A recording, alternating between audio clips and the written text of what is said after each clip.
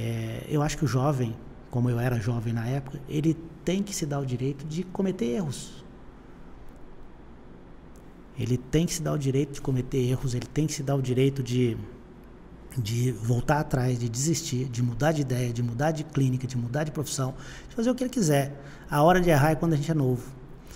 Então, na verdade, eu falei, não quero odontologia mais, eu vou ficar na mercearia, depois eu vejo o que, que eu faço. Monto um carrinho de cachorro quente, vou ser mototaxista, vou fazer o que for.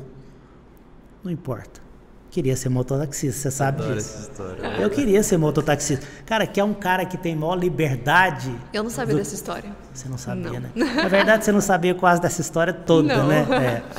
É, mas eu queria ser mototaxista. Eu olhava aqueles caras andando de moto o dia todo, o vento vento, na batendo cara, na certeza. cara. É, eu sou muito otimista, você sabe disso, né? Mas aí, Raquel, eu sei que voltei para Uberaba, fiquei na mercearia mais um tempo. E eu e a Flávia começamos a conversar novamente. A gente reatou e a gente montou um consultório num bairro bem simples aqui na cidade.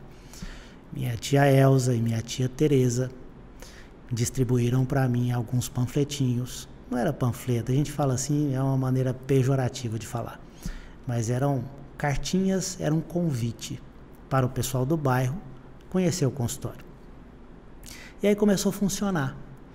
E nós trabalhamos como clínicos nesse pequeno consultório do bairro durante uns três anos.